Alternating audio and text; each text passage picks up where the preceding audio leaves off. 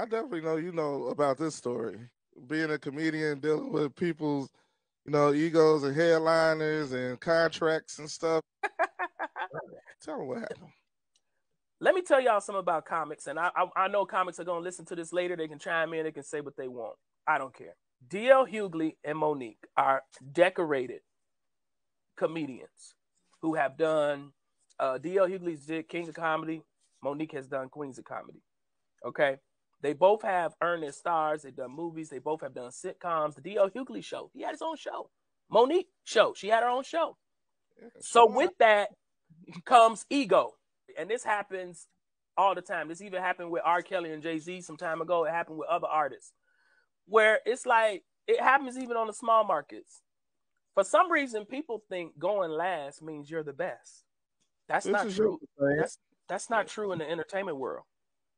I'm sorry. Sometimes the last person is not the best.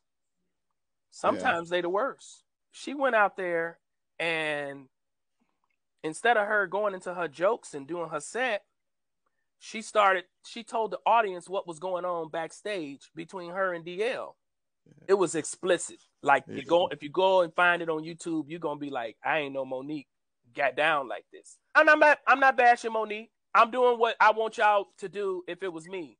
You tell somebody when they wrong. Now I don't know who was wrong when it comes to the contract. That's not what I'm saying. That ain't none of my business. I care less because they both got paid headliner money. This is the problem I have with some promoters. They don't they don't have a show together. They don't have to run a show together. You don't know how many promoters ask me, so uh, hey, where you want me to put you in the lineup? Me being me, I don't care where you put me, cause you paid me headliner money. So guess what? If you want to put me first, I'm gonna do my thing and go home because that's what I like to do. I don't have to mm-hmm. hang out all night. Put me up because I get tired of standing backstage, yeah. waiting on everybody else to do their thing, and I gotta sit through all this. Right. No, man, put me up.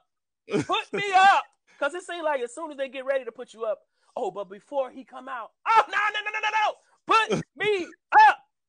And so I'm very different in that aspect. Listen, you go you're gonna pay me the headliner fee. You go ahead and put me where you think is best.